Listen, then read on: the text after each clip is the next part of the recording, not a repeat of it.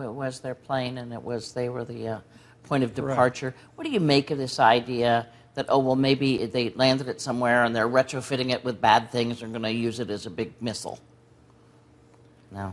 Well, it's a, it's another uh, So it theory, but it's pretty you? wild. I would say Yeah. it's pretty wild. Um, I, I, I guess somebody said to me last night, well, I would have thought it was pretty wild for people to learn how to fly a plane and fly it into buildings in New York. Mm-hmm. So you can't totally rule it out. But does that does that sound improbable? Well, that means that they would have had to land on a, an airstrip that's capable of accommodating that size of aircraft, or even more importantly, be able to take off from it. I suppose you can land on a relatively imperfect field, but then how do you take off again? Uh, I mean, there are a lot of questions that would occur to me that I would ask the intelligence uh, analysts to uh, take a look at. And so going forward, the interest of the U.S. in this, obviously, you want to be helpful in any kind of aviation accident because